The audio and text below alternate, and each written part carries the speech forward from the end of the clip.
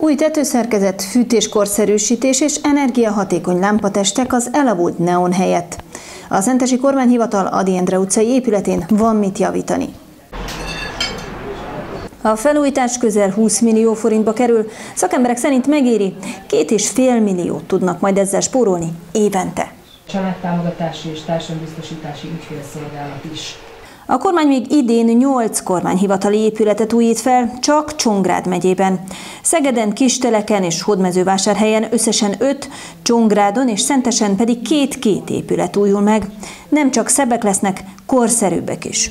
Ezeken a településeken ugye nagymértékű fejlesztés valósul meg a globális környezetvédelmi érdekek mentén, mondta Farkas Sándor, a térség országgyűlési képviselője a projektindító sajtótájékoztatón. Az uniós hátterű KEHO pályázatból finanszírozott közel 570 milliós tatarozástól 16 milliós energiamegtakarítást remél a kormány a járási hivatali épületek mindenképpen felújításra szorulnak. Ez nem csak esztétikai szempontból fontos, hogy egy kultúrált a mai kor elvárásainak megfelelő környezetben várjuk az ügyfeleket, hanem a mindennapi dologi költségek, a fenntartás, hiszen a közüzemi számlák költsége is a, ugyanúgy a kormányt terheli, ben is csökkentést kell elérni. Az Adi Endre utcai kormányépületben jelenleg három hivatal működik. Az élelmiszerlánc biztonság és növényvédelmi felügyelet mellett mellett a társadalombiztosítási ügyfélszolgálat is elég mostoha körülmények között.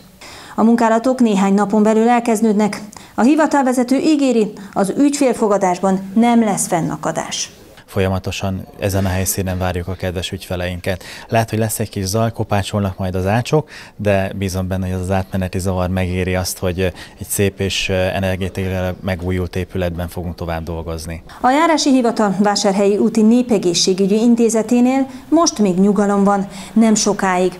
A pályázat részeként itt is kicserélik a nyílászárókat, napelemeket szerelnek a tetőre és leszigetelik az épületet. A tervezett költség 23 millió forint, az ebből adódó megtakarítás pedig 800 ezer évente. A kivitelezési határidő idén decemberre szól, ha télapóra nem is, a hónap közepére befejeződnek a munkálatok.